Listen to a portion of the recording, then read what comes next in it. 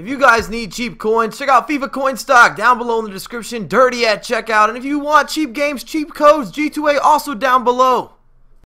What's happening, beautiful people? My name is Dirty Mike, and welcome to the top 5 best fullbacks in FIFA Ultimate Team. No restrictions, no limitations. If you enjoy the content, smash that like button. Can we get 700? Can we get 800 likes? Tells me everything is a-okay. And drop a comment. Do you agree? Do you disagree? And make sure to include your top 5 uh, because I know things can get heavy in terms of the debates. Jumping right into the honorable mentions, we got DeMarcos, possibly the most slept on fullback in this year's installment. He's got 93 stamina, 91 sprint speed, 89 acceleration, and a key number, a key statistic, 75 strength, especially post-patch where there are a lot of 50-50s and you need someone who can win some of the physical battles. DeMarcos has been good for me. Uh, Marcelo, who is a very all-around uh, fullback, whether you're attacking or defending. He's got the Brazilian trait where he doesn't like to play defense that much, and he's out of position here and there. That's kind of what left him out of the top five. And then Filipe Luis, and he's easy to link up with. You got him in the BPL. He's Brazilian. He's good at tackling. He challenges.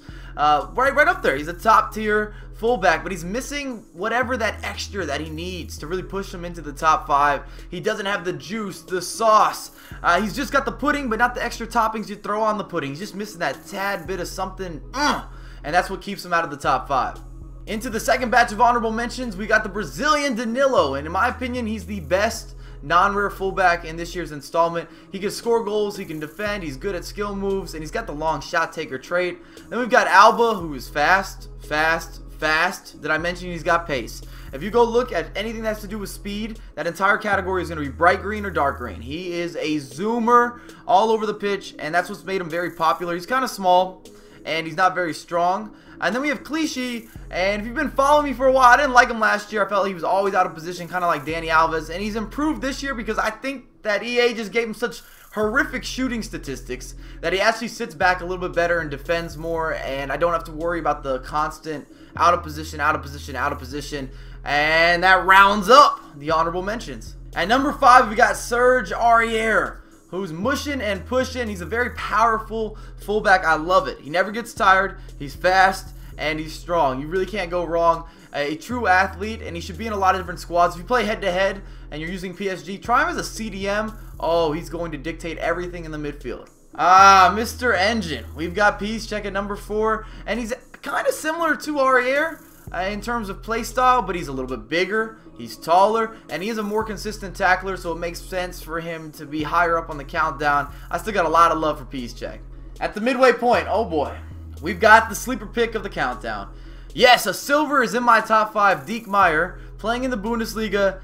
He is six foot two, and he looks like a center back, but he has a 90 acceleration, a 90 sprint speed, and I would ignore some of his stats. He's not going to score you a lot of goals. You can feel that in match, but his defending feels a lot more consistent and a lot more reliable than a 71. The same with physical.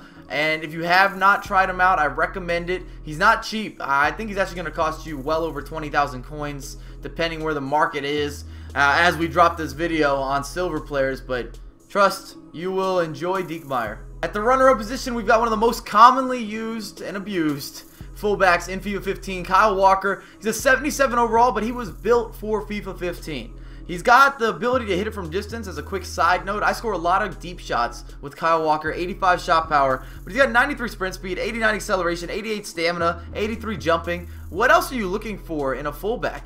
And he is physical enough and he has that presence to deal with players like Ronaldo or Ibra or, Hazard and he can kind of dictate what's going to happen. And a lot of fullbacks don't uh, have that in their locker. They don't have that in their back, pocket. They're going to lose out in just the sheer not having that X factor or being strong enough to really contend with these premium players. Topping the charts, we've got the repeat offender David Alaba, and I can't get rid of this guy. Just collectively, he is the best fullback. Uh, he attacks well, he defends well, and he does everything else in between better than pretty much everyone. If it's passing, it's crossing, it's skill moves, it's deep shots, first touch, dribbling, you name it, he can do it, and it's always at a high level. Even if you go look at his Futhead stats, I, I think his lowest statistic is like a 70 or, or a 67. I mean, David Alaba is a special player. He also has a long shot taker trait, which allows you to hit some driven shots for about 30, 35 with uh, with a sense of ease. He scored some big goals for me this year. And he has the specialty uh, acrobat And as for a defender, when you're recovering on a through ball or you need to make a crazy challenge, oh yes, it comes in handy. If you guys enjoy the content, smash that like button. Follow me on Twitter and Facebook at Dirty Mike USA, and I have a lot more content coming for you ASAP, ASAP.